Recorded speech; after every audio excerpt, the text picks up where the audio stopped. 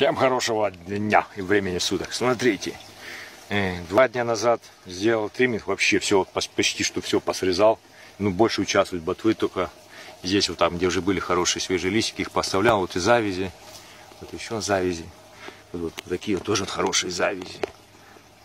Пойдет. Так, в общем, смотрите. Э, Добавил сюда удобрения, довел концентрацию до 1100 ppm. Это по серому датчику TDS-3. Смотрите, видите, столб идет, оп-оп-оп. И вот пасынки. В этих вот пазурах образовываются новые пасынки. Оп, ну, видите? Вот, и вот эти вот пасынки тык-тык-тык пойдут себе новой веткой. Как бы так как есть основание корневой системы, откуда она берет ну, свои минеральные и макро- и микроэлементы, да, вот она кушает, питается, и вот чук-чук, и по столбу идет этот жизненный сок, и чук, и пойдут эти веточки, да, ну, я думаю, поняли, к чему я.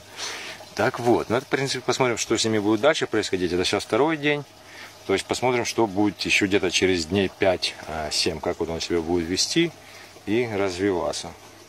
А так, всем, друзья, классного, хорошего урожая, до новых встреч, подпишемся на каналчик, все вы красавчики, бам-бам.